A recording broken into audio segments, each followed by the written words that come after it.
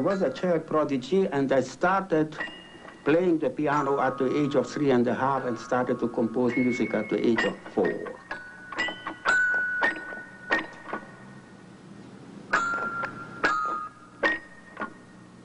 My father gave me a toy piano when I was three and a half years old. It was a small piano. It had about an octave and a half, I would say, not more. And I played on it. So that's probably how they discovered that I had musical talent.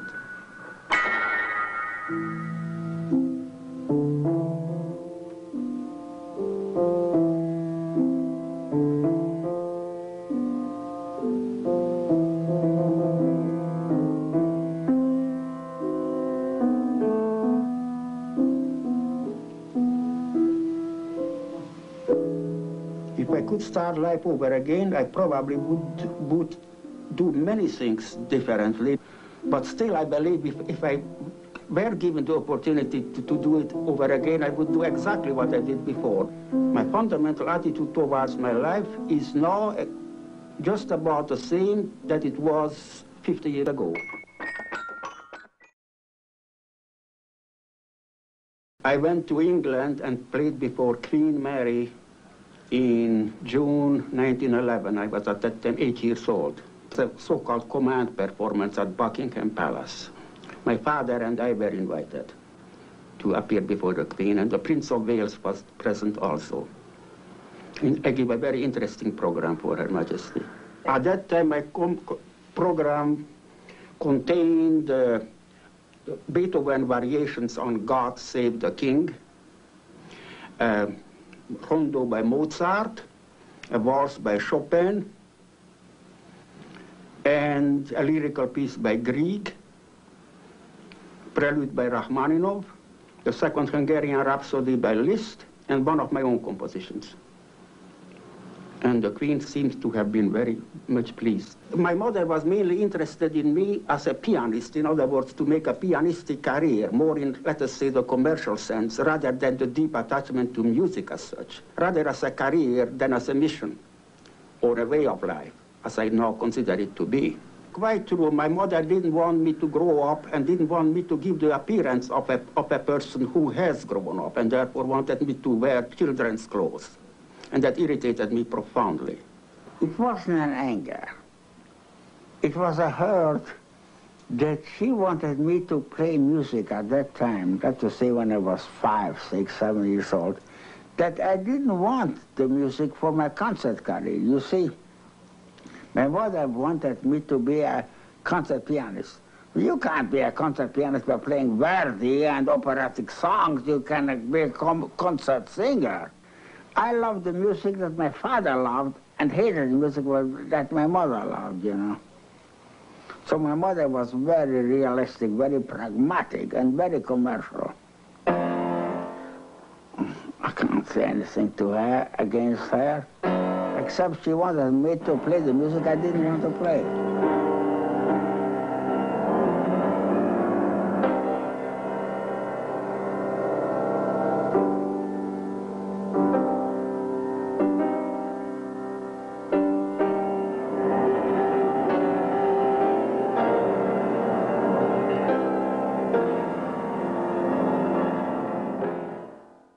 Well, the general fact of mismanagement is not just a lawsuit, but once one is mismanaged, then it's very difficult to, to establish a reputation that has been tarnished or blemished.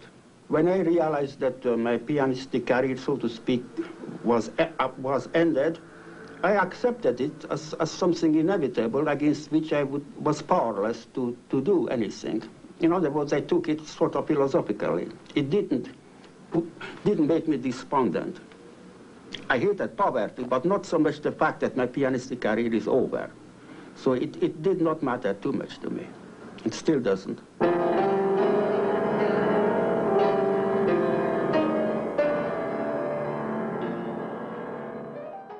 I don't miss not having a piano so much because I hear music in, in my uh, inner self and actually the actual sound is not essential. So unless I really want to play for somebody or on some special occasion, I don't really miss not having a piano. That sounds very strange coming from a pianist, but it's a fact. My temperament required, I would say, companionship, very much so, and, and still does. So that was a tremendous problem in my life, but I tried to cope with it as well as I could. I want a woman who cooks scrambled eggs soft, who gives me butter in the real way, the way it served with President Carter with a butter knife. I want a butter knife that is imperative. A woman who doesn't give me a butter knife, we get a divorce next day. She might as well say Beethoven is no good composer. I want women to adhere to my impeccable taste for service, aristocratic, no matter how poor I am.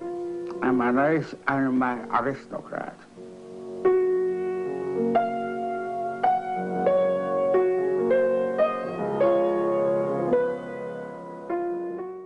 Maybe my marriage, marriage has had an adverse effect upon my musical career. I don't say that with absolute certainty, though, but there is a possibility. But I didn't get, I was married nine times, but that doesn't mean that I was divorced nine times. Three of my wives died. I don't love him no more. I don't want a man like that who, who wants to make me smaller than I am. I want to get bigger than I am. He with a beard. I don't like anyone with a beard unless he can prove it. He wants me to adhere to a score. I play a ballad bellist, let us say, for recording. He watches me like a hawk. I might as well be a, in a Camarillo with a straitjacket. He has no right. I must not be judged by adherence to the score. I use the score to embroider my libido. I have a hell of a time. I don't have a good time in the bathroom. I mean the bedroom. So I do it on the concert stage. Hell with him, you know. Hell with Banker.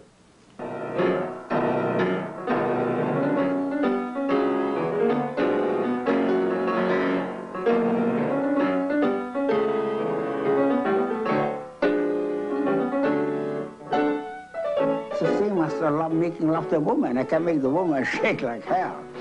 But on the other hand, I can say, sir, you're so wonderful, you're so tender. And my attitude towards a piano is very much like my attitude to, towards a woman I want to make love to. In other words, when I make love on the piano, it's really the woman. The piano is only a mirror, not too good a mirror, but, but fairly good. Actually, I don't make love to the piano. I make love to a wonderful woman. And it doesn't have to be a particular woman, just any woman. I, I love the feminine sex. As long as I can play the piano and express my view about life, whether I play my own compositions, which is very seldom, or the compositions of any other composer, it's the same thing. It, the important thing is not for me to play their compositions, but to express through their compositions my way of living, which, whether you accept it or not, is very important to me. I'm terribly glad if you accept it. And if you don't accept it, I'm sorry to say I have nothing I have to do about it, you know.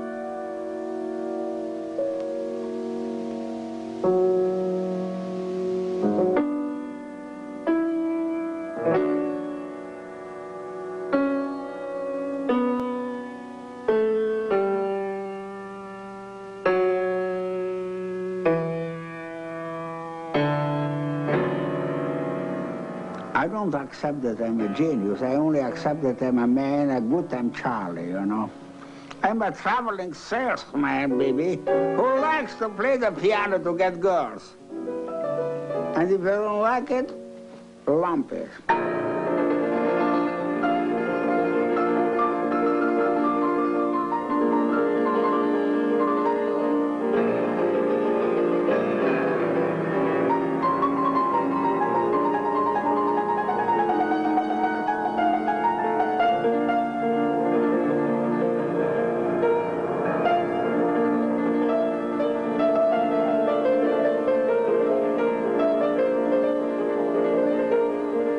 Not at all sure whether I am a genius, whether I am a genius. Assuming that I am, I would say I will feel very humble. Whether it is my genius, let us say, or the genius of Beethoven or Liszt or Brahms or Immanuel Kant, it is subject to a power so far above the individual human being that we can't even grasp it. But we must realize it, that the ultimate cause of genius is far above the result of the genius, you know, sir.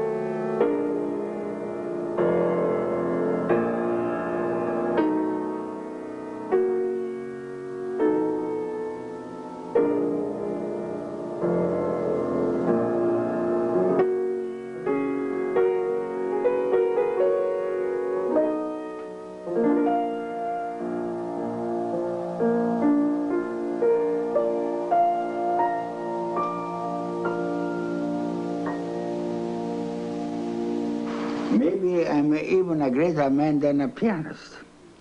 If you said that to me, I'd just kiss you. What I mean is, it actually, sir, would matter to me more, although I play the piano rather well, if you would say to me, sir, you're a greater human being than a pianist. Are you prepared to say that?